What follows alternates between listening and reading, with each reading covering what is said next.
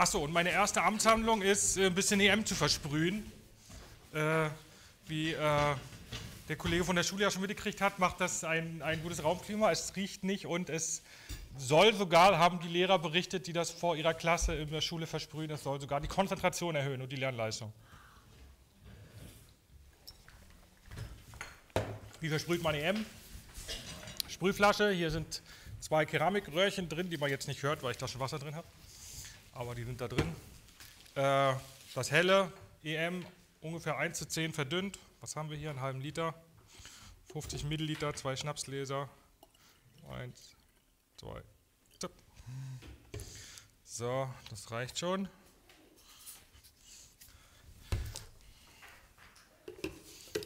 Man kann auch das dunkle EM versprühen, wenn es auf die Flecken nicht so ankommt.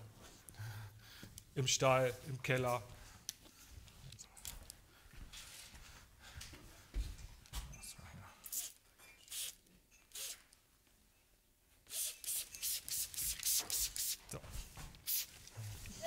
So. Ja, so viel ist es nicht.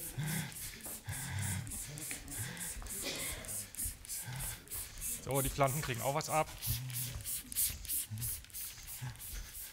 Da haben wir schon mal nichts falsch gemacht. Aber das ist eine der wirksamsten Mittel, um mit EM zu arbeiten. Aber heute soll es noch nicht um EM gehen, heute soll es noch um Therapreta gehen. Ähm, vielleicht erstmal kurz zu mir. Ich, ja, Marco Hecke, ja, bin ich jetzt 42 ähm, und habe Geoökologie studiert in Potsdam. Das ist Umweltwissenschaften, Boden, Klima, alles äh, Landschaftsplanung und so weiter.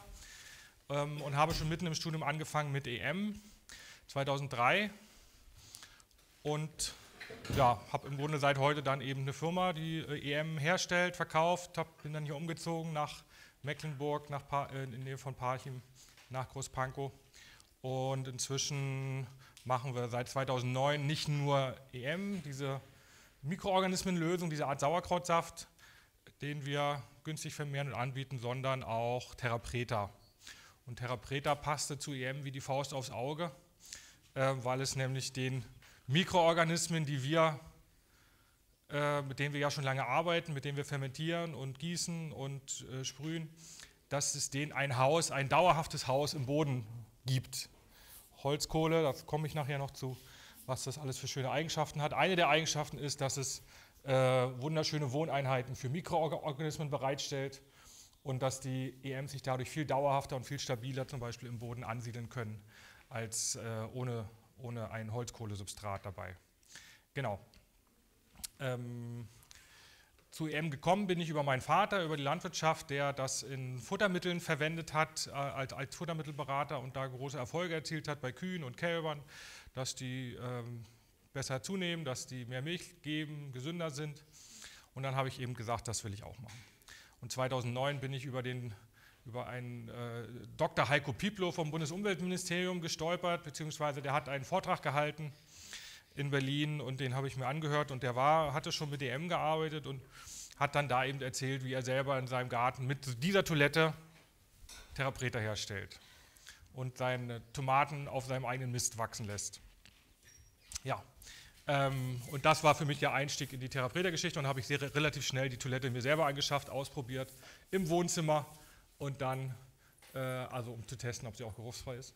Und dann ähm, auch die Produktion und die, den Verkauf dieser Toiletten zusammen mit dem Therapreta-System übernommen. Ja, ich habe hier noch ein paar Bücher hingelegt, die dürf, dürfen Sie sich ähm, alle ja, also anschauen ich zähle sie nachher noch durch, dass mir nichts verloren geht. Die nehme ich morgen Mittag wieder mit. Genau. Und äh, ja, das ist nicht nur Therapreta, hier gibt es eine ganze Menge weitere Themen, ähm, die da, ich sag mal, ähm, dran angrenzen an Klima, an Erdgeschichte, an äh, Gesundheit, an Mineralien in Ernährung und was weiß ich. Also hier können sicher äh, der ein oder andere noch eine Anregung mitnehmen. Das sind kleine Auswahl der Themen, die ich in den letzten Jahrzehnten, möchte ich fast sagen, durch, durchgearbeitet habe. Ja, Therapreta. Therapreta ist der Name für schwarze Erde. Portugiesisch, Terra Erde, Preta schwarz. Normalerweise sagt man äh, in, in, äh, Brasilien Terra Preta de Indio oder Terra Preta de Indigenous, Indigenia. Äh, die, das heißt, die, die schwarze Erde der Indianer, weil schwarze Erde ist erstmal schöne, jede gute Komposterde in, in Brasilien heißt Terra Preta. Und dann gibt es aber eben diese spezifische Erde, die eigentlich aus, von den normalen Brasilianern kaum einer kennt, sei denn er wohnt da direkt um die Ecke, irgendwo im Amazonas. Und äh, das ist die Terra Preta de Indio, die Schwarzerde der Indianer. Ähm, und die wurde erstmalig gefunden in diesem Gebiet hier. Ja, sonderlich gut kann man es nicht sehen. Ich weiß nicht, ob man es noch heller stellen kann. Ich nehme nicht an. Sollen wir nachher nochmal Frau Neumerkel fragen. Naja, also gut genug. Wenn das Bild ein bisschen heller wird, dann sieht man es wahrscheinlich. Ähm, ansonsten rede ich es ja auch dabei. Ähm, also, das ist ein Luftbild vom Amazonas. Das ist typischerweise ist ungefähr so groß wie Europa. Mitteleuropa ist äh, mehr oder weniger topfeben, also ist wirklich eine, eine Überschwemmungslandschaft in weiten Teilen. Es gibt Ebenen, die ein bisschen höher liegen, aber im Wesentlichen ist das, ist das äh, Topfebene Fluss-Delta-Landschaft, die eben äh, so groß ist wie Europa. Der größte Fluss der Erde, äh, länger als der Nil, nachdem sie nochmal bis in die letzten Winkel in den Anden nachgemessen haben, den Amazonas, äh, hat er dem Nil den längsten Fluss der Erde abgejagt und der größte war er immer gewesen. Hat man nicht diskutiert. Und äh, in, im Delta-Bereich des Amazonas liegt eine, eine Insel, Marajó, die ist so groß wie die Schweiz. Ähm, also nur mal um diese ähm, Dimensionen zu verdeutlichen, die da unterwegs sind. Marajó ist übrigens auch eine berühmte Insel für Terra Preta. Da gibt es Terra Preta-Hügel, die sind 20 Meter hoch, äh, wo, die, wo das im Grunde eine, eine Flutebene ist, die ein halbes Jahr im Jahr überflutet ist und dann entsprechend, um überhaupt ihre Siedlungen aus diesem Bereich rauszukriegen, haben sie eben immer Material aufgehäuft und Material aufgehäuft und dann war da eben tausend Jahre und länger irgendwie ein Dorf auf diesen Hügeln und immer mehr Scherben und immer mehr äh, Holzkohle und gute Erde aufgesammelt, sodass wir da tatsächlich Schichten Terra Preta Hügel finden, die 20 Meter mächtig sind und zur Hälfte aus Keramikscherben bestehen. Ja, ähm, aber eigentlich sollte es in dieser Region keine Hochzivilisationen keine großen Menschenmengen gegeben haben, war die Meinung der Archäologen, äh, Anthropologen bis äh, 90, fast jetzt noch, aber jetzt dreht sich der Wind, äh, schon langsam auch in der äh, klassischen Archäologie, Anthropologie, dass ähm, aufgrund der schlechten Böden, die es im Regenwald gibt, die Böden sind extrem verwittert, weil da so, so warm ist und so feucht ist, sind die auf zig Meter tief versauert. Da ist kein Kalk drin, kein Magnesium, kein Calcium, kein Kalium, alles ausgewaschen. Extrem versauerte, verrostete Böden, Ferrasol in verrosteter, verrosteter Boden. Das ist der typische Boden dort. Und dann hat man eben in der obersten äh, Schicht, das ist eben da, wo dann der, der Regenwald wächst und die Vegetation. Das sind alles Flachwurzler. Die haben im Grunde eine dünne Lebensschicht auf diesem unfruchtbaren Boden und alles, was irgendwie zu Boden fällt, wird sofort aufgesaugt an Nährstoffen. Aber wie gesagt, aus dem Boden ist da wenig zu holen und es gibt, äh, ist entsprechend der Boden auch relativ humusarm. Das ist der normale Zustand dort und deswegen hat man gesagt, äh, wenn man da eben den Regenwald abräumt, da kann man zwei, drei Jahre mit Brandrodung irgendwie Maniok anbauen ähm, und, und äh, wenn man das eben mit der Asche düngt, und dann ist aber vorbei, da muss man wieder nach, woanders hinziehen und einen neuen Feld machen. Dieser klassische Brandrodungswanderfeldbau, der da heutzutage nicht mehr, aber in den letzten Jahrhunderten zu beobachten war. Das wäre das Modell gewesen, so haben die sich seit Jahrtausenden dort ernährt und deswegen gab es da nie viele Menschen, weil muss man immer hin und her ziehen. Und dann gibt es aber eben Funde von, äh, von seltsamen Böden dort. Ein erster Hinweis, dass eventuell da mehr los war im Amazonasgebiet, als wir heute denken oder als wir dachten, ist äh, der Reisebericht von Francisco de Orellana, ähm, spanischer Eroberer. Äh, die ganze Eroberungsgeschichte Südamerikas, Mittelamerikas ist ja der, also wenn man mal Heldengeschichten und Drama und äh, Krieg und das ist, ist der Hammer. Dass da noch keine Fernsehserie draus gemacht wurde, verstehe ich nicht. Äh, Die zwölfte Star Trek-Serie, aber noch keine Serie über die Eroberung der neuen Welt. Ähm, bin Star Trek-Fan. Aber da, das würde ich auch mal gerne sehen. Egal, also Cortez 1518 mehr oder weniger mit ein paar hundert Soldaten übernimmt Mexiko, äh, Aztekenreich mit Millionen Einwohnern und zigtausenden Soldaten. Und äh, kurze Zeit später Pizarro 1532 ähm, mit den Pizarro-Brüdern und 150 Mann marschiert ins Inka-Reich ein äh, gegen eine stehende Armee von, die waren gerade auf dem gegenüberliegenden Hügel, hatten gerade ihren Bürgerkrieg beendet, 80.000 Mann ähm, unter Waffen und, und, und äh, waren aber, ne, erstmal haben, haben sie die 150 Spanier nicht so richtig ernst genommen, äh, diese dreckigen, kleinen und schlecht ausgerüsteten Menschen, die da kamen. Deutlich kleiner als die Indianer, die waren deutlich höher gewachsen und kräftiger und hatten schönere Uniformen und was weiß ich.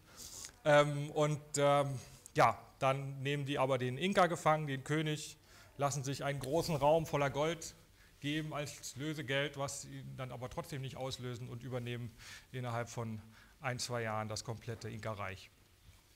Und die nächste Story geht weiter mit, der, mit, dieser, mit diesem Ding hier, nämlich mit der Reise von Francisco de Orellana, ähm, der äh, eben auch in Peru in, ähm, mit Pizarro unterwegs war.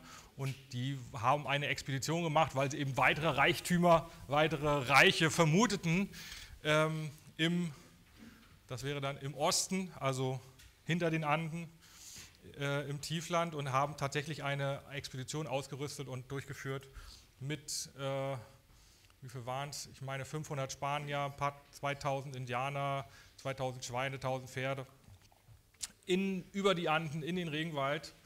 Ähm, als sie dann in die Regenwaldregion kamen, waren alle Indianer schon weggelaufen, die Schweine aufgegessen, die Pferde auch. Sie, Kleidung hing schon in Lumpen runter. Das war doch eine ziemlich schwierige Geschichte. Dann kamen sie an einen großen Fluss, äh, haben Francisco de Orellana war so ein Unterbefehlshaber, der hat den Auftrag bekommen, mit zwei Booten den Fluss runterzufahren und Nahrungsmittel zu besorgen. Äh, hat er dann auch gemacht. Die haben zwei Boote gebaut. Da wurde Kautschuk schon entdeckt. Haben sie die Boote nicht mit Teer abgedichtet, sondern mit Kautschuk. Ähm, und dann sind sie, äh, ist er den, den Fluss ein Stück runtergefahren, über Stromschnellen, kam nicht mehr zurück und hat gesagt, na gut, hier muss ja bald das Meer kommen. Der Fluss geht gen Osten, geht bergab, also hier so groß wie der jetzt schon ist, kann das, kann das Meer ja nicht mehr weit sein, der Atlantik, und ist den Fluss runtergefahren. Und das war der Anfang einer sechsmonatigen Flussfahrt ähm, über ja, 3000 Kilometer und äh, er beschreibt diese Geschichte, dass er da im Grunde ähm, Dorf an Dorf, Stadt an Stadt an, diesen, an den Uferbänken des Amazonas lag, dass man keinen Pfeil zwischen zwei Dörfern schießen konnte, also dass die alle nicht mehr als 50, 100 Meter auseinander lagen. Äh, überall Feuer die ganze Zeit, Rauch am Horizont, überall wurde gekokelt die ganze Zeit was man auch heute noch sieht, wenn man im Amazonas ist und da einen Bauern trifft, der ist auch die ganze Zeit am Kokeln. Wir haben einen, äh, ich bin ja oft in Brasilien, weil meine Frau Brasilianerin ist und äh, wir haben da ein Grundstück und ein Amazonas äh, Bauernpärchen, was unser Grundstück betreut. Also die sind daher gekommen, wir sind nicht im Amazonas, wir sind in der Nähe von Sao Paulo. Aber versuchen Sie den mal auszutreiben, dass sie alles verbrennen, was also jeden Tag wird ein Feuer und wäre es noch so klein, einfach nur, dass es ein bisschen raucht, ein bisschen, äh, also Kohle produzieren hat er gar nicht so drauf, aber es muss rauchen, es muss ausgeräuchert werden, irgendwelche Insekten ausräuchern und so, also das ist da die ganze Zeit dabei. Also das steckt da drin.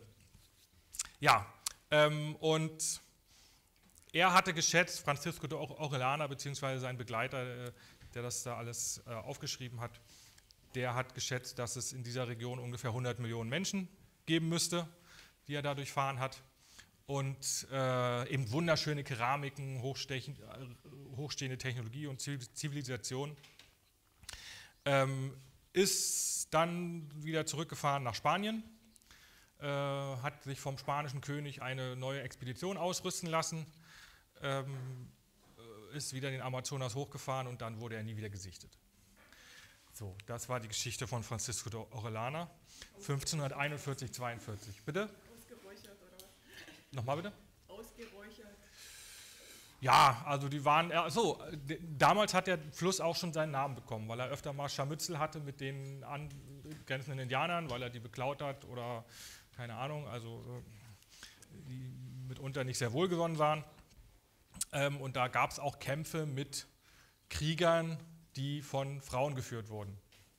Also äh, wo die Häuptlinge, die Kriegerhäuptlinge irgendwie Frauen waren, das meint er jedenfalls so wahrgenommen zu haben. Und damals ähm, hatte man ja auch die ganzen klassischen griechischen äh, Völker und Volksstämme gesucht, sozusagen auf dem Erdball und dachte, hier müssen ja irgendwo die Amazonen sein. Und dann war das war äh, diese Verbindung mit der griechischen äh, Überlieferung des, des, der Amazonen, die kam dadurch zustande, dass er meinte, er hätte da, äh, hat da wahrscheinlich auch eben äh, äh, Krieger, weibliche Kriegerhäuptlinge gesehen, die ihm sehr zugesetzt haben.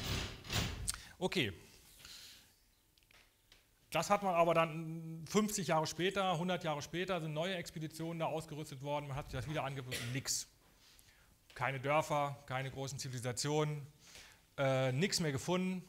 Alles, dann hat man gesagt, okay, das waren Hirngespinste, da hat der Aurelaner sich irgendwas ausgedacht. Das war Konsens bis zum Jahr äh, 2000, 2010.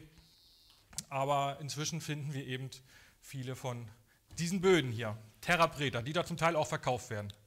Ähm, habe ich auch besucht. Ich habe hier ein paar Proben übrigens mit. Das ist Originalprobe Terra Preta aus Amazonasgebiet, Alter du Chao. Das ist wirklich, das ist wie ein Torf. Also da geht man rüber und denkt, das, das, äh, man geht über ein Moorgebiet, über ein Torf, aber es ist nicht überstaut, es ist nicht ein Moorgebiet, sondern es ist normaler mineralischer Boden, der einfach, ja, man riecht da nichts. Das, Riecht man noch was? Also inzwischen ja. ist das schon ein paar Jahre alt. Es ist erstaunlich, dass man noch was riecht. Ja. So, hier habe ich äh, Para, ähm, Therapreta aus Paraguay. Habe ich sonst noch was? Das andere ist meine eigene aus meinem Quadratbeet. Die ist aber auch schon ein paar Jahre alt. Ja, und äh, die wird also gerne als Blumenerde abgebaut. Und ein, eine Beobachtung, die sie dabei gemacht haben, war, wenn sie die eben abbauen und äh, damit sie eben nicht lauter Erde mitbuddeln, so lassen sie eben so 20, 30 Zentimeter stehen, wo es dann schon anfängt heller zu werden und ähm, kommen dann eben nach, nach ein paar Jahren wieder. Äh, Regenwald wuchert wieder rüber, jede Menge organisches Material und dann ist der Boden nachgewachsen. Dann hat er wieder eine 50 Zentimeter und mehr mächtige Schicht dieser, dieser Schwarzerde. Das war so eine der Beobachtungen. Und ich habe man findet tatsächlich, also ich, äh, in Alta do Chao, das ist ähm, Nebenfluss äh, Tapajós von, vom Amazonas, waren wir auf dem Stadtplatz, äh, Park, im Stadtpark und äh, gucke ich mir die Erde da an, die da eben in, den, in dem Stadtpark, in den Beeten da verwendet wurde. Und da ist das war Terra Preta, mit Scherben zum Teil noch also die da abgebaut wurde und dahin gebracht wurde. Auch am Flughafen in Manaus findet man das in den Blumentöpfen und so weiter. Also das ist äh, über Amazonas hinaus wird das praktisch nicht gehandelt, ist auch ver verboten inzwischen, aber es, es, äh, dort in der Region verwendet man das gerne mal. Ähm, ja, das ist schlecht zu sehen. Papaya-Anbau auf Terra Preta, ungefähr doppelte Erträge, viel weniger oder gar kein Düngebedarf. Ähm, und das ist dieser Vergleich dieser beiden Böden. Der klassische normale Boden, der sich im Regenwald ausbildet, durch die Hitze, durch die äh, hohe Feuchtigkeit, das ständige Durchspülen dieser Böden, total verrostet, eigentlich unfruchtbar, total versauert, zum Teil so versauert, dass das Aluminium, was ja in diesen Böden, in allen Böden drin ist, auch in diesen Böden drin ist, äh, schon mobil wird und die Pflanzen regelrecht vergiftet. Also sehr, sehr, sehr saure Böden unter pH 3 und so, die, die können, da kann das Aluminium schon mobil werden und die Pflanzen vergiften. Und dann findet man nebendran eben, äh, und das ist dann wirklich so fleckenweise, mal ein paar hundert Quadratmeter, mal ein paar Hektar bis äh, 20 äh, Hektar und mehr, findet man solche schwarzen Böden. Ein Meter mächtig, ganz typisch, aber kann auch mächtiger sein, mal sind es auch nur 50 Zentimeter.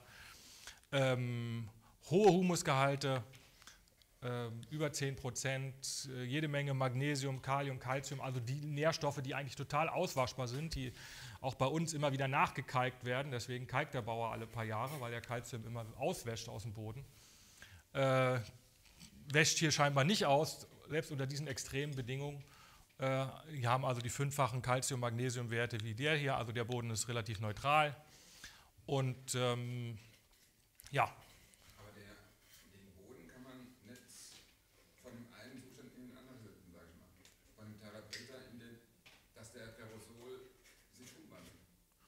Also das ist ja das, was man findet. Man findet diese Böden im Bereich von äh, Indianersiedlungen. Ich weiß nicht, ob ich jetzt hier. Ah ja, lassen wir es mal. Äh, man findet diese Böden eben äh, praktisch immer im Zusammenhang mit Siedlungstätigkeit von, von Indianern. Also irgendwie klassisch, ganz klassisch sind diese Runddörfer mit den Langhäusern. Dann hat man irgendwie, wie viel sind das? 15, 20 Langhäuser. Das ist so ein Dorf, da wohnen vielleicht 1000 Menschen. In der Mitte ein Dorfplatz. Hinter den Langhäusern ist, sind die Gärten. Und da ist die Terra Preta. Und das kann man heute noch in der, in der Landschaft sehen, dass man eben so eine, eine nicht Terra Preta, einen Fleck in der Mitte hat und drumherum äh, einen Kreis sozusagen, der je nachdem, wie groß die Siedlung war, immer breiter wird, ähm, an, an Schwarzerdeböden, an, an Terra Preta. Und man findet eben ganz typisch Vergesellschaftungen mit Keramikscherben. Hier habe ich mal Original-Keramikscherben aus dem Amazonas mitgebracht aus, äh, was war das? Novo Airao im Norden, ein bisschen nördlich von, von Manaus, am Rio, wie heißt der? Rio Negro, am Schwarzen Fluss, Schwarzer Fluss. Und das ist ungefähr so eine Keramik hier, das ist der moderne Nachbau. So sieht das aus. Ähm, was, was jetzt ähnlich, was, was da jetzt. Also wunderschön gezeichnete Keramiken findet man damit unter. Auch ganz grobe Keramik. Also es ist immer Siedlungszusammenhang. Die Böden sind entweder unbewusstes Nebenprodukt der Siedlung oder sie sind bewusst hergestellt mit den Siedlungen. Ich würde ja sagen, sie sind bewusst hergestellt. Sind hier da Therapetra-Sachen mit ein, weil das hat hier so Schlieren drin. Es ist ja kein, nicht, nicht reiner Ton. Ähm, das kann man in einem Touristenladen in Amazonas heutzutage kaufen. Das ist von einer Indianergruppe, wie hieß die jetzt? Die, die das damit. Das ist einfach, äh, wird mit Holzbrand gemacht und dann ist da auch ein bisschen Kohle und sonst was mit dabei. Das ist jetzt, äh, hat noch nichts direkt damit zu tun, aber es, äh, so. Ähm, über das Gebiet reden wir hier, Amazonasgebiet, wobei man äh, Terra Preta in Paraguay findet, in Bolivien findet, also im Grunde in, bis, bis in Sao Paulo, in der Region habe ich es noch nicht gesehen, aber hier in Paraguay, wo es schon wieder deutlich tropischer ist und so, findet man also auch Terra Preta. Und ähm, ja, es ist schwierig zu sagen, wie viel nur davon da ist. Bei ähm, Ölpipeline legen oder Straßenbau oder so hat man schon mal so einen Überblick bekommen, wie viel es denn sein könnte. Und die Schwankungen gehen so, je nachdem, was man auch als Terra Preta bezeichnet. Wenn es nur ein bisschen äh, schwärzlich ist, Terra Mulata sagt man auch braune Erde.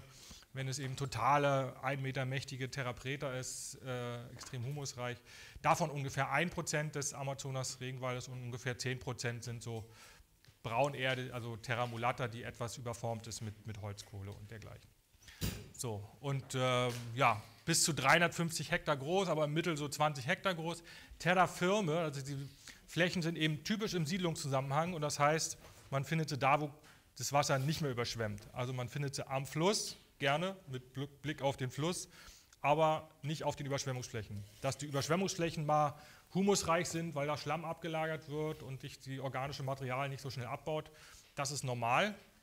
Das würde man erwarten, das kennen wir von Moor und, und äh, Teichschlamm und was weiß ich. Aber äh, das ist hier nicht das Phänomen. Das sind tro trockene, sag mal, äh, Anbauflächen, trockene Flächen, wo sich normalerweise Humus nicht in dieser Weise ansammelt. Also weil es so warm ist, so äh, feucht ist. Die mikrobielle Abbautätigkeit in diesen Regionen ist ungefähr zehnmal so schnell wie bei uns. Es wächst auch zehnmal so schnell wie bei uns, aber die Abbautätigkeit ist auch zehnmal so schnell wie bei uns. Das heißt, wenn da ein Laubblatt zu Boden fällt, das braucht bei uns äh, ein halbes bis ein Jahr zum Verrotten, das verrottet da in zwei Wochen. Komplett. Ähm, so, also das ist, das ist das Tempo und dementsprechend hält auch kein Humus, kein Kompost Mulch, ganz schwierig, wenn man nicht ganz widerstandsfähige Palmblätter mulcht oder so, dann ist das auch alles in 0, nix verschwunden. Terra Firma? Heißt das? Terra Firma heißt, das, ist diese, das sind diese äh, Flächen, auf denen eben Siedlungen waren, typischerweise, die ah. nicht überschwemmt sind, die ja, am Fluss sind, aber nicht überschwemmt sind. Also Terra Firma, ich glaube Firma heißt wie sicher, oder? Also das ist eben... Peru, Südafrika gibt es auch ähnliche Böden, in, in, Asien auch und wie wir inzwischen wissen, auch im Wendland. Ähm, hat der Bruno Glaser untersucht. Gab es auch mal ein, zwei Fernsehberichte dazu, ähm, dass, dass die alten Slawensiedlungen, nicht die germanischen Siedlungen interessanterweise, ähm, also nicht die deutschen Siedlungen, sondern die also äh, ungefähr 1000 vor 1000 Jahren, also ähm, um 1000 nach Christus, als hier, äh, deswegen haben wir hier lauter slawische Ortsnamen, Großpankow, alles was mit OW endet, ist, ist, ist slawisch. Ähm, äh, und in der Zeit gab es dann eben eine Expansion der Deutschen nach, nach Osten äh, um 1000 vor Christus mit, mit wie heißt der, Heinrich dem Löwen und was weiß ich. Auf jeden Fall ähm, gab es hier slawische und germanische Siedlungen oder deutsche Siedlungen. Ähm, und die Slawen waren eher so Flusssiedler, die auch mehr oder weniger Gartenbau betrieben haben und eben ansonsten ganz stark von den Flüssen abhängig waren. Deswegen findet man diese Slawenburgen immer ähm, mehr oder weniger in der Nähe der, der Überschwemmungsgebiete der Flüsse. Und die Germanen, die haben, oder die Deutschen, die haben eben auf den Hügeln gelebt, haben die Wälder abgeholzt und äh, Getreide angebaut. So, da findet man keine Terrapreta. Bei den Slawen, ähnlich wie im Amazonasgebiet, wo die eben mit Flüssen und viel organischem Material, dort findet man zum Teil heute sehr, sehr humusreiche Schwarzerdeböden in den alten Siedlungen, ähm, die auch mit Holzkohle angereichert sind und die diesen Terrapreta-Effekt zeigen. Und das hat der Bruno Glaser im Wendland auch mal ausgebuddelt und gezeigt, dass das direkt nebeneinander bei den gleichen Ausgangsböden eben so ist. Ja, okay. Ähm, die Böden, die man im Amazonasgebiet findet, sind 500 bis 7000 Jahre alt. Äh, das kann man sehr gut datieren mit der C14-Methode, weil Holzkohle ist ja das äh, beste Material, um diese C14-Datierung zu machen. Also das weiß man ziemlich genau. Und das heißt, 7000 Jahre alte Böden, die in dieser Zeit nicht ausgewaschen sind, nicht ihren Humus verloren haben, ähm, nicht, ihren leicht, nicht mal ihre leicht auswaschbaren Calcium, Magnesium, Kalium verloren haben. Also das ist ja, schlicht ein Wunder. Und das konnte man sich bis vor ein paar Jahren nicht erklären. Man hat das so als Kuriosität abgetan. Irgendwann in den 80ern ist man jetzt aufmerksam geworden, was verflucht haben die nochmal da gemacht, um das zu erreichen. Wir, wissen, wir, wissen, wir wussten bis vor kurzem nicht, wie wir das reproduzieren sollten mit moderner Technologie. Und ähm, die Schätzungen, wie viele Menschen da nun gelebt haben äh, und auch, auch ein guter Hinweis darauf, warum da jetzt scheinbar nach Orellana ganz viele Menschen, viele Millionen Menschen gelebt haben und dann waren plötzlich irgendwie keine mehr da. Ähm, da gibt es inzwischen eine sehr gute Vorstellung, was dafür verantwortlich gewesen sein könnte, nämlich schlicht die Krankheiten, die europäischen Krankheiten, die ja Europa auch devastiert haben über Jahrhunderte, immer wieder Pest, wo die Hälfte der Bevölkerung ausgerottet wurde, Cholera, äh, Grippe und was weiß ich, was, was äh, über die Jahrhunderte sich an, in Europa, Eurasien an Krankheiten ähm, akkumuliert hat, wo die Europäer dann so über die Jahrhunderte gewisse Abwehrkräfte gegen entwickelt haben, beziehungsweise alle, die das nicht überlebt haben, sind eben weg äh, aus dem Genpool aussortiert. Und die, diese kompletten Krankheiten, auf die die Europäer, die die Europäer sich über Jahrhunderte selber rangezüchtet haben, durch ihre, sage ich mal, unhygienische Siedlungsweise ähm, in mittelalterlichen Städten und ihren Welthandel und dergleichen, ihre, ihr enges Zusammenleben mit Tieren, ganz wichtig. Ähm, viele dieser Krankheiten sind ja von Tieren auf Menschen übergesprungen was in, in Amerika typischerweise nicht der Fall ist, weil die nicht so Haustiere hatten. Gab es einfach nicht dort. Deswegen waren die also völlig unvorbereitet auf diese Welle an Krankheiten, an potenten Krankheiten, die die Europäer völlig unabsichtlich ähm, nach äh, Amerika, Mittel-, Südamerika gebracht haben.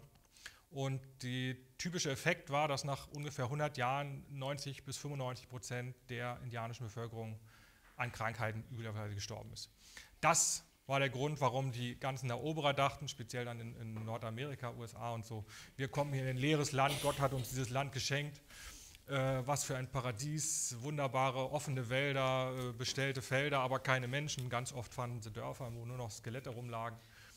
Ähm, und äh, der Punkt ist, dass quasi Krankheitswellen vor den, Europä äh, vor den Eroberern hinweggefegt sind und das Land ausgeräumt haben. Äh, das war übrigens auch im Inka-Reich so, als der Pizarro da seine Eroberung gemacht hat. Ähm, der Grund, warum die einen Bürgerkrieg hatten, war, dass da vorher, es muss so eine Art Grippewelle gewesen sein, die da durchgegangen ist, die ein Drittel der Bevölkerung umgebracht hat. Und den herrschenden Inka und den zweiten Nachfolger des Inka und dann gab es eben Nachfolgeprobleme, wer wird jetzt der neue Herrscher? Und deswegen haben die sich da fünf Jahre lang bekriegt gehabt, direkt bevor Pizarro kam.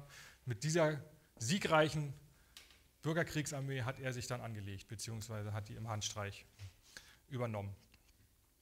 Ja, also das prägt diese komplette Eroberungsgeschichte, diese, diese Krankheiten, die die Europäer damit gebracht haben. Und das wird wahrscheinlich auch diese Zivilisationen ausgelöscht haben, denn was macht man, wenn 19 von 20 Menschen, die man, mit denen man zusammenlebt, dann plötzlich sterben? Da, man rennt weg, man äh, versteckt sich im Wald, man äh, also die Zivilisation kann unter diesen Bedingungen nicht überleben. In Europa ist schon komplette Massenpanik und Psychose ausgebrochen, als die Pest sich Stadt für Stadt durch Europa gewälzt hat im 14. Jahrhundert und da kamen irgendwelche krassen Sekten, die sich umgebracht haben und gegeißelt haben und sonst was und die haben ihre Städte schon angezündet, bevor die Pest überhaupt kam und alles Mögliche, also mehr oder weniger eine Massenpsychose ausgelöst durch diese Pest und da ist nur die Hälfte der Bevölkerung gestorben. Hat ein paar Jahrzehnte gedauert, die haben sich wiederholt. Aber von so einem Schlag erholt man sich nicht so leicht. 20, äh, 5% bleiben noch übrig, einer von 20. Genau. Ähm, und deswegen gehen die neuen Schätzungen davon aus, dass eben, ähm, ja, also die werden immer höher jedes Jahr, ne, weil es ist so ein Prozess sozusagen, mit jeder neuen Veröffentlichung wird, die, die sich damit beschäftigt, wird die Zahl wieder ein paar Millionen raufgesetzt. Aber inzwischen sind sie so bei 20 Millionen dass wohl äh, mit der Ankunft der Europäer dort im ähm, Amazonasgebiet ungefähr 20 Millionen Menschen gelebt haben. Wobei das natürlich die Schätzung weit auseinander geht. Aber die, die Menge der Theraprederböden deutet darauf hin, dass dort entsprechend ähm, große Zivilisationen existiert haben. Die interessanterweise, es gibt ja nichts da, es gibt keine Steine, es gibt keine Mineralien, also die hatten Keramik, die haben keine Pyramiden gebaut, wenn, dann haben sie Holzbauwerke gebaut. Es gibt diese Geoglyphen, die man vielleicht mal gehört hat, seltsame Erdbauwerke, so Erdwälle, die da über hunderte Meter, also geometrische Formen, so ähnlich wie diese Linien von Nazca, nur mitten im Dschungel, sieht keiner, weil es überwuchert ist. Ähm, sowas sowas gibt es da, die auch ganz schön viel Arbeit gemacht haben müssen. Aber klassische große Bauwerke, die wir heute noch beobachten können, gibt es da ja nicht, weil es keine Steine gab. Okay, was findet man alles in den Böden drin? Ähm, man findet Holzkohle. Das war eigentlich die erste und wichtigste Entdeckung. Jawohl, diese, alle diese Böden enthalten relativ viel Holzkohle, nämlich 2 bis 5 Kilogramm pro Quadratmeter. 2 bis 5, also die ersten 30 Zentimeter, 2 bis 5 Kilogramm pro Quadratmeter Holzkohle. Wenn die natürlich 20 Meter mächtig sind, dann ist da mehr. Ganz viel haben Keramikscherben, so eine Scherben hier, und zwar Mengen von Scherben, die äh, entsprechen so, zum Teil sind das Riesengefäße gewesen, 100, 200 Liter Tonnen. Ähm, und, und die Menge an Scherben ist ganz oft in der Region, dass jeden, jeden Meter ein so ein Riesengefäß war. Also immer ein weiter hat man wieder so ein Riesengefäß und, und äh, wie das zusammenhängt, erkläre ich noch. Oder wie das eventuell zusammenhängt. Dann findet man alles, was man aus der Küche kennt: Küchenabfälle, Asche, ähm, Algen, Fischgeräten, Knochen. Man findet menschliche Fäkalien, die kann man noch nachweisen, an speziellen, ich glaube, Styrole heißen die. Ähm, und ja, eben ganz, ganz viele Keramikscherben, je nachdem. Es gibt Theraprederböden mit wenig oder ohne Keramikscherben, aber die meisten haben ganz viele Keramikscherben. Ähm, und der wesentliche Faktor bei Therapreta scheint zu sein, oder ein ganz wesentlicher Faktor scheint zu sein, äh, Holzkohle. Und das können wir mal aufschreiben. Die drei Geheimnisse der Therapreta.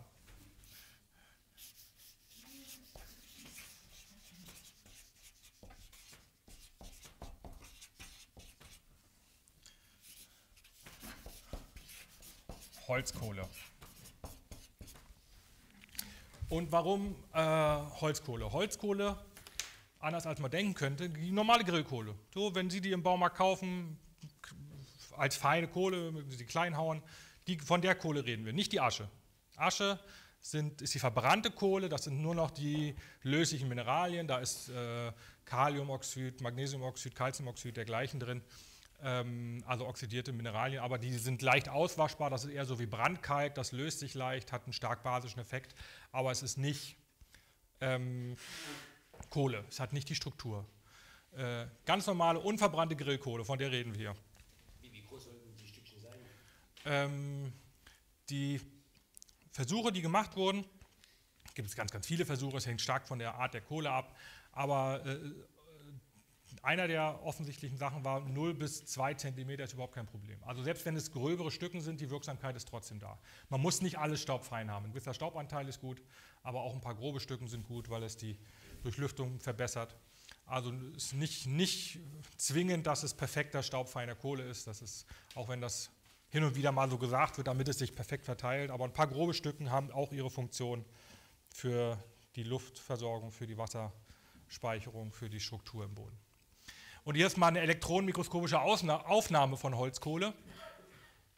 Und ähm, ähm, im Zusammenhang, der mir jetzt klar geworden ist, wo ich mich nochmal noch mal über die Kohlenstoffchemie nachgedacht habe. Ähm, die ganze organische Chemie ist ja Kohlenstoffchemie. Ne? Kohlen, Kohlenstoff hat ja eine, diese, diese erstaunliche Eigenschaft, dass es vier andere äh, Atome gleichzeitig binden kann. Also es hat vier, vier offene Bindungsstellen. Es kann sich über vier Bindungen zum Beispiel mit anderen Kohlenstoffatomen verbinden. Und wenn es das in einem perfekten äh, räumlichen Gitter macht, dann kommt da ein Diamant bei raus.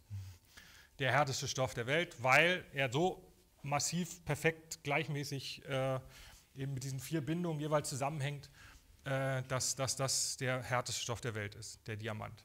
Dann kann, könnte sich auch einfach in so einer Ebene, ne, nicht, nicht räumlich äh, verteilt binden, sondern in der Ebene nur einfach die ihre vier Bindungen haben. Dann haben wir Graphit. Das ist der Bleistift. Dann kann man immer, äh, dann kann man immer Schichten von Kohlenstoff abreiben. Deswegen der, macht der Bleistift schwarz, weil er immer Schichten hat, die man abreiben kann.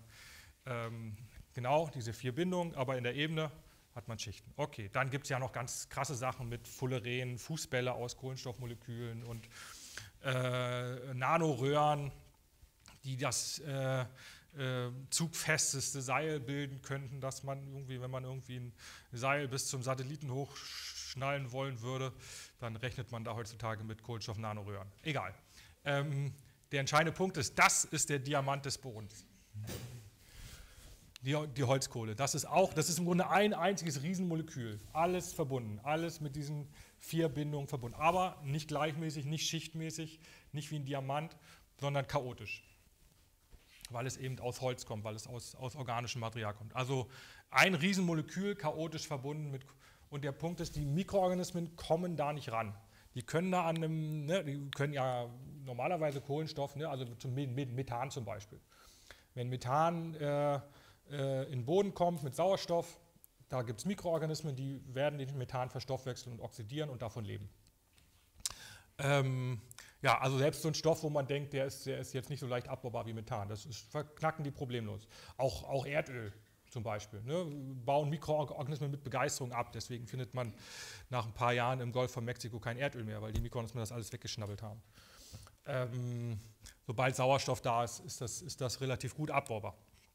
Hier, weil es eben gleichmäßige Moleküle sind, gewisse Größe haben, die können Sie mit Ihren Enzymen durchhacken, dann können Sie die aufnehmen, können Sie die oxidieren, okay, funktioniert. Wenn Sie hier mit einem Enzym anfangen, dran zu knabbern, dann kommen Sie genau zwei Kohlenstoffatome weit und dann bleibt das, Molekül, bleibt das Enzym hängen, weil plötzlich sich das verzweigt, die Kette nicht mehr gleichmäßig ist, das Molekül eine völlig andere Struktur bekommt. Also Sie kommen da nicht weiter. Also man kann durch diese chaotische Verkettung dieser, ähm, durch die chaotische Verkettung dieser Kohlenstoffatome ist es den typischen Enzymen. Enzyme machen ja Massenarbeit, die können immer, gleich, immer das Gleiche machen, das gleiche Molekül nehmen und zerhacken, das gleiche Molekül nehmen und zerhacken. Das ist das, was Enzyme normalerweise tun. Für die Mikroorganismen, die kommen hier nicht weiter. Im Gegenteil, die bleiben hängen und werden Teil des, des Holzkohlemoleküls. Also deswegen franzt sozusagen in den Ecken aus und dann, äh, und dann äh, bleiben andere Huminsäuren, äh, organische Moleküle hängen, weil die einfach nicht weiterkommen, weil die da immer neutralisiert werden an dieser chaotischen Oberfläche. Das ist der Grund, warum Holzkohle als Katalysator wirkt für Humusbildung. Oder das ist jedenfalls meine Idee, meine Erklärung dafür. Den Fakt, dass es so ist, erkläre ich gleich nochmal. Aber Holzkohle im Boden ist nicht nur selber nicht abbaubar, ist über Jahrtausende stabil im Boden. Das ist das, was man immer noch findet nach 10.000 Jahren, wenn irgendwo eine Steinzeitkultur mal ein Feuer gemacht hat. Man findet nach 10.000 Jahren das Feuer selbst im lebendigen Waldboden oder diese, man findet diese Holzkohlestücken. Die sind immer noch da. Die werden nicht abgebaut, aus diesem Grund, weil es so chaotisch verkettet ist. Aber das ist nicht der einzige Effekt. Ähm, Holzkohle wirkt im Boden wie Humus, es bindet Wasser, es bindet Nährstoffe, es hat eine große Oberfläche, okay, äh, Mikroorganismen. Aber der, der zweite Effekt ist, dass die Holzkohle eben diese chaotische Oberfläche hat, wo die ganzen Bakterien sich dran die Zähne ausbeißen, die ganzen Enzyme und, und dass deswegen äh, alle organischen Stoffe, die sozusagen mit dieser Holzkohle äh, in Aktion treten, selber chaotisch werden und auch nicht mehr abgebaut werden können so richtig. Schwerer abgebaut werden, weil sie eben in ihrer Struktur ähm, chaotisch äh, gestört werden sozusagen. Und deswegen bildet sich dann in Anwesenheit von Holzkohle Dauerhumus. Organische Substanz, die sich nicht mehr abbaut, beziehungsweise sehr langsam abbaut im Boden.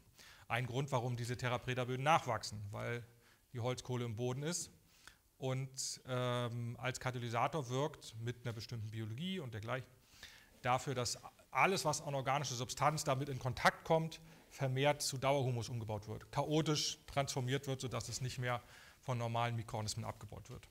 Und der Faktor ist in, bei den Regenwaldbögen un, ungefähr 1 zu 4 oder 1 zu 3. Also wir haben, wir haben die drei-, vierfache Menge an Humus, an Kohlenstoffhumus im Boden zu, jedem, äh, zu dem Anteil an Holzkohle. Also jedes Kilogramm Holzkohle, jedes Kilogramm Kohlenstoff in Holzkohle entspricht drei bis vier Kilogramm Kohlenstoff in Humus, die sich in diesen Böden zusätzlich durch diese Katalysatorwirkung an, an aufbaut. Verständnisfrage. Äh, Habe ich Sie richtig verstanden, dass wenn innen drin, wenn ich da jetzt so, eine, ja. so eine Zelle innen drin, dass sich diese Mikroorganismen so innen ins, insgesamt an der gesamten Wand entlang oder nur an den Bruchstellen? Das ist, das ist die nächste geniale Geschichte bei der Holzkohle, also diesen chemischen Katalysatoreffekt haben wir jetzt, ja, wir haben eine große Oberfläche, das ist zu sehen, aber wir haben auch diese Struktur der Holzzellen. Äh, dieser äh, Holz hat ja immer diese äh, Röhrenstruktur, diese Holzzellen, die sind ziemlich groß. Man kann sagen, so eine Holzzelle ist typischerweise, Pflanzenzelle ist ungefähr tausendmal so groß wie ein Milchsäurebakterium zum Beispiel. Also das sind schon richtig, richtig große Dinger. Das heißt, äh, und die, davon bleiben die Zellwände stehen. In der Zelle ist ja dann typischerweise irgendwie Flüssigkeit und so, die verdunstet, die verdampft. Ähm, Stickstoff, äh, Sauerstoff, äh, Wasser, alles wird ja beim Holzkohleprozess bei 400 bis 800, 900 Grad Celsius rausgetrieben. Was übrig bleibt, sind die sich gegenseitig chaotisch verkettenden Kohlenstoffmoleküle. Und das heißt, die bleiben als die Zellwände der Holzzellen ganz typischerweise stehen. Und das hat genau die Größenordnung, dass in so ein, äh, so ein Holzzellenquartier äh, können jetzt Mikroorganismen Kolonien einziehen. Also nicht nur einzelne Mikroorganismen, sondern richtig äh, 100 oder eben 1000 symbiotisch zusammenarbeitende äh, Mikroorganismen oder eben auch selbst etwas größere Varianten wie, wie Pilzmyzel, die sich da ansiedeln können. Und das Geniale ist, dass eben in jeder, jeder Zelle eigentlich eine andere Ökologie sich einstellen kann. Einmal ist da mit Sauerstoff, einmal ohne Sauerstoff, einmal ist äh, ähm, Stickstoff über, also Ammoniak vielleicht dabei, einmal ist viel Feuchtigkeit, einmal wenig. Also es ganz, ganz viele, viele diverse Umweltbedingungen auf engstem Raum durch diese Hochhauswirkung, sage ich mal, wie in einem Hochhaus mit lauter Wohneinheiten wo auf kleinster Fläche auch ganz viele verschiedene Familien wohnen. So ist das ja auch. In jeder Wohnung ist, geht hier eine eigene Geschichte ab. Und